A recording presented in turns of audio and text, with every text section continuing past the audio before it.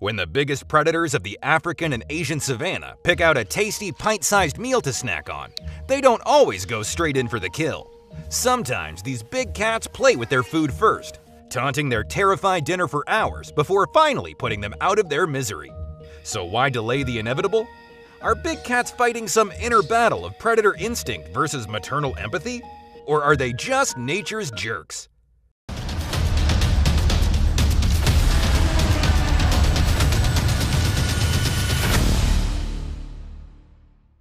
We've all heard the term game of cat and mouse. It's named after how rather than killing and eating a mouse on the spot, cats love to parade their half-conscious trophy around the house, occasionally letting it go before swatting it into submission again. It's almost like cats enjoy giving mice these tiny glimmers of hope and then destroying them for their own sick pleasure. Now, we all know cats are jerks. That one's a given. But are they being cruel for fun? Or is there more to the story? Oh my! Well, when it comes to your homicidal house cat, they're not playing with the poor defenseless mouse for entertainment.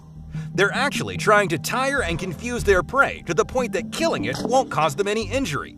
Sure, they could jump in with a quick bite and snap poor Stuart Little's neck in one quick blow, but that takes effort, and cats aren't about that life. So good news, Fluffy isn't a sadist. You don't need to change the locks just yet. But what about Fluffy's bigger, scarier, toothier cousins, the big cats? When they play with their food, are they just trying to tire their dinner out, or is it something different altogether? Getting a meal delivered in South Africa isn't always easy. It's not like lions can just call in Uber Eats when they want a steak, medium rare. So when a baby calf got separated from its mother and wandered obliviously through a field, this hungry lion could hardly believe its luck. Despite the half-speed chase, it's pretty obvious that the lion could catch his dinner at any point. He just seems to be enjoying the thrill of the chase. Finally, stopped and cornered, this timid little calf does his best to fend off his would-be attacker by throwing a couple of well-placed headbutts, but the lion is unfazed. What happens next confuses onlookers and animal behaviorists alike, as the lion begins gently pawing at the calf, almost affectionately, the same way a mother would paw at her cubs. He seems less interested about eating and more about making a new friend, at least at first. But just as unpredictable as life on the African plains can be, along comes another lion, eager to share in the afternoon snack. Nothing makes you finish your food faster than someone trying to steal it. Okay, so maybe this big cat was just playing with his food. What about other wild cats? When a leopard picked up a baby impala in its mouth and takes it away from the herd, you'd think it was lights off and game over for the poor African antelope. The leopard stood guard over his new friend, occasionally swatting him with sharp claws and giving chase whenever he made a break for it. The rough play definitely started to take its toll with cuts and gashes appearing along the impala's leg, but it was clear that Stockholm Syndrome had set in. Even the impala's concerned parents tried to intervene, but deep down, they knew they couldn't help their doomed firstborn. See ya, son. Good luck. Eventually, playtime was over, and the leopard wanted to find a nice secluded spot to end the poor impala's suffering before taking it up a tree to eat.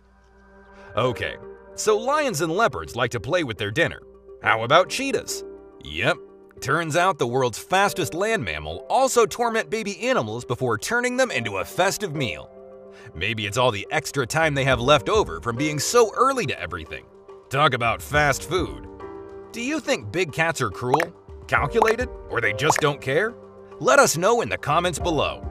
Okay, so what about the times the baby animals don't end up on the menu?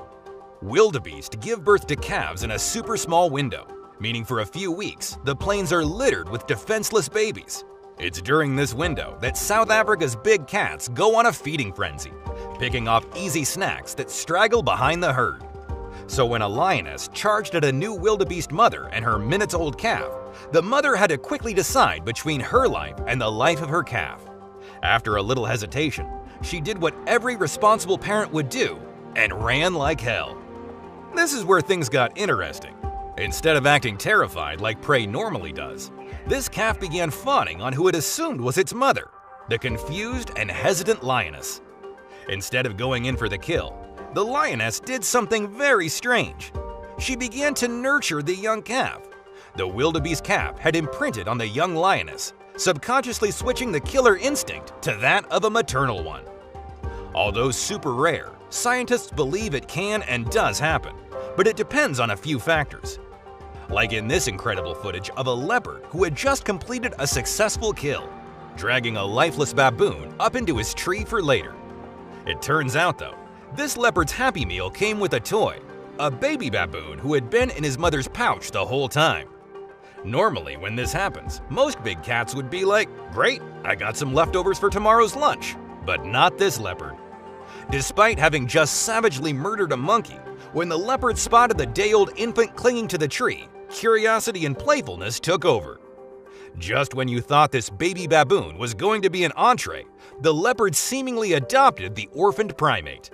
So why do big cats sometimes go straight for the kill? Other times, they seem to taunt and torment their prey before eventually eating it. And then you have the extremely rare occasion where an orphan animal is pseudo-adopted by the parent's homicidal murderer? The last option would make family dinners rather awkward. What's for dinner, Mom?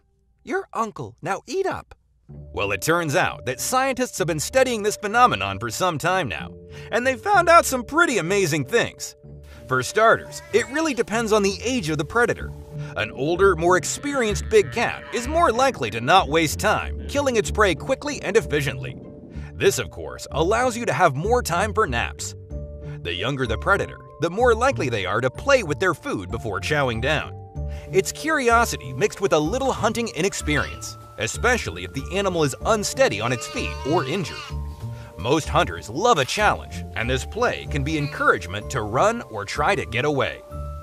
But even older cats can also put away their killer instinct if the conditions are right.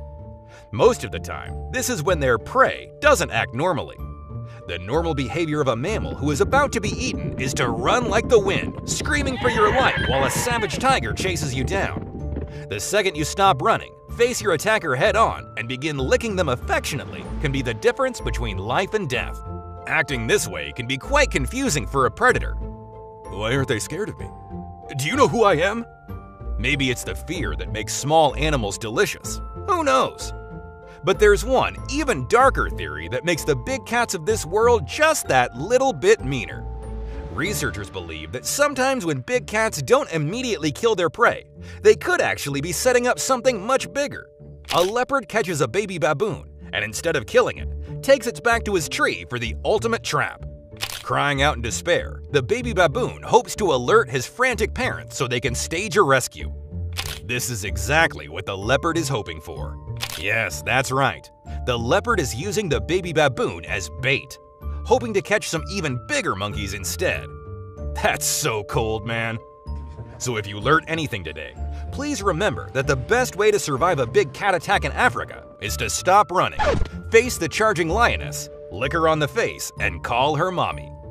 Thanks for watching. If you enjoyed this video, please make sure to drop a like. And if you're not already subscribed, go ahead and tap that big red button and notification bell. See you next time!